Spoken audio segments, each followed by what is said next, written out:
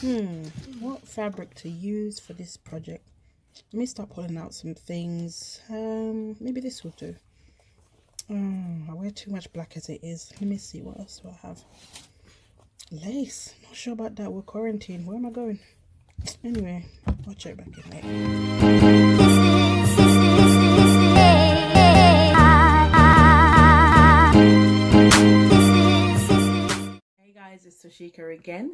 I am here today to challenge myself to get cracking and do something that is productive other than lazing about the house and um, doing nothing because we're, we're inside. We're, we're basically hamsters in a hamster cage and we're just going on the wheel every day just you know? So today i was just on instagram. I actually got outside for some fresh air went to get some groceries but i got on instagram and i was just looking at a few fashion pages that I'm inspired by. And I was just like, I wonder if if I could recreate a celebrity look.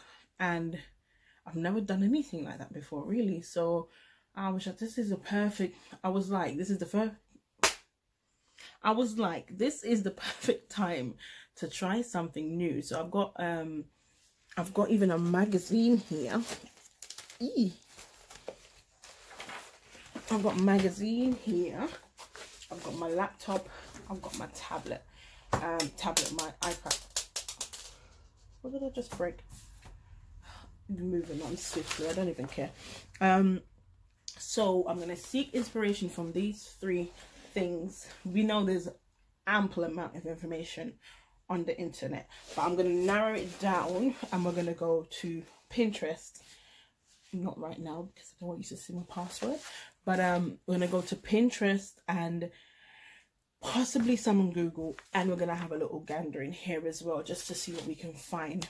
So hopefully, by the end of this whole thing, I can be able to show you the inspired piece. And the extra challenge is not to just recreate the look, but to add my stamp on it, add my little signature, um, something that you know judges judges it up judges it up judge that whatever that makes it special to me. I can't even say the word. So um yeah i hope you're in for a treat. I hope you sit back and enjoy the ride. Strap yourself in because i know you ain't going nowhere but in your living room or your kitchen or the bathroom. So sit back and enjoy this video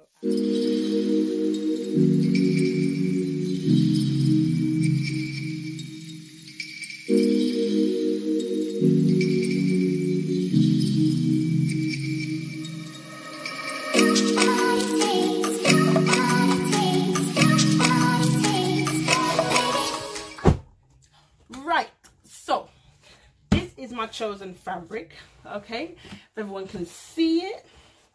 It has slight stretch to it. Gorgeous gorgeous gorgeous. Dark snake print white on black. And the jacket i'm gonna make i'm gonna insert it in right now. Okay so have a look at that. And what i'm gonna do is pull it up on my um tablet so that we can have a look at how it's constructed, how oversized it needs to be. And I'm also going to see if I have something in my stock that I can um, use. yeah, I'm going to see if I've got something in my stock that I can use to um, almost copy the pattern and then do it however I want to do. I don't normally work on this surface because my overlocker is right here and because everyone's at home now normally i'm home by myself everyone is at home so i can't use the kitchen as frequently the table in the kitchen as frequently as i would like to so i'm gonna make do with what we have here. Okay so where there's a will what is the answer? There's a way. Let's go. Right so i've got my ipad guys. And what i'm going to try and do is find what I saved just yes my nail is actually gone it's gone so there were these options I'm not even sure what what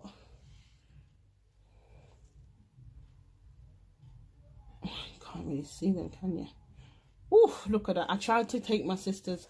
She has a stripy bed sheet in her bedroom and she won't let me use it. I said, let me just, let me just use it. Cut it apart, you know, and I'm going to give it back with one side used and the other side you can cover up your bed with. But she didn't want to listen to me. So, um, so did I even save it? Ah, there we go this is the jacket it's very simple but it's cute it's very very cute i'm gonna put it properly in the picture so you can see it and it's not like a snake print or anything like that. It's just a jacket. zoom in. We're gonna draw the picture out and we're gonna um, see if we can break it down into pattern pieces okay? So let's go. Okay. So oh, baby pictures, you know. I need to find my lovely plus size senorita.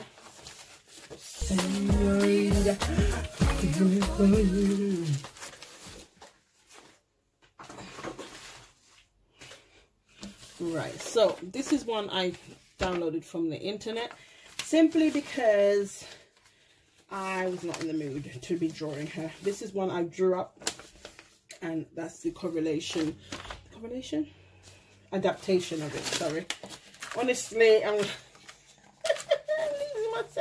here right so we are going to oh, oh no that's for something else sorry sorry sorry something else but we are gonna press on and we're gonna try and break it down into little pieces so we can see exactly what we are working with, okay? So I've got my girl here. We're going to bring it to the center stage. It's time to take to stage. They don't want me to be great today, so I'm just going to use a pen and shame the devil. All right, okay. we'll begin by focusing in on the top half of the jacket. As the picture showed, the shoulder seam has been extended to enhance the boxy shape. So it sits just off the edge of your shoulders, more down to the top of your arm. Next, we will move on to the button stand. The button stand extend past the collar um, just so you can have enough room to do up your buttons and then the collars will meet where the button stands overlap. The button stand is extended because it is a long line jacket that sits just above your knee. So remember to bear in mind that this is not standard measurements. You use a standard shape and then we will increase it with seam allowance. Alright, so I will go on to explain it further. So we have two patch pockets, but one has a two, both of them have a flap.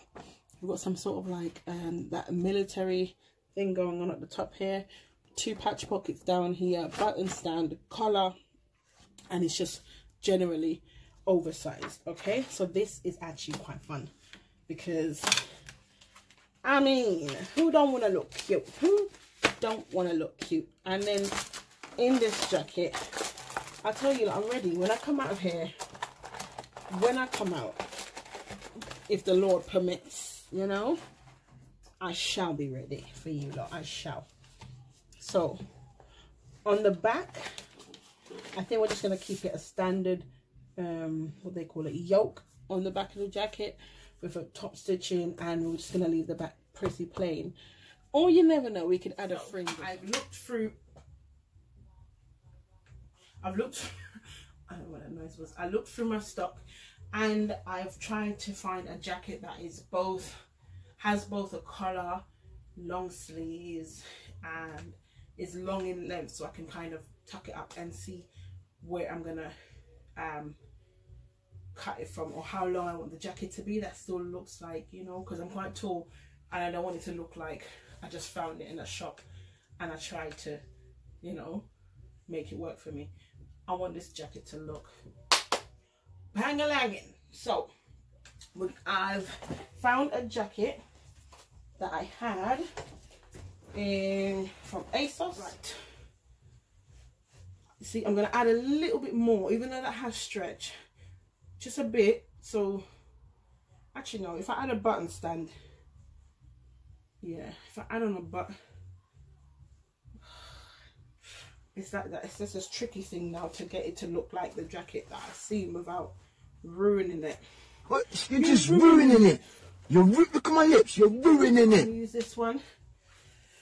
And let's get cutting. Let's tracing let's get motivated. Let's go. Thanks for watching. If you're interested in seeing part two please subscribe below and also hit that notification bell for more updates. Also follow me on my social handles in the comments below. Let me know what you have been getting up to. I am genuinely interested. Are you resting? Are you improving your skills? What are you doing anyway thank you for watching this video. Have a blessed day. Stay safe guys. Stay indoors. God bless you. Love you all. Bye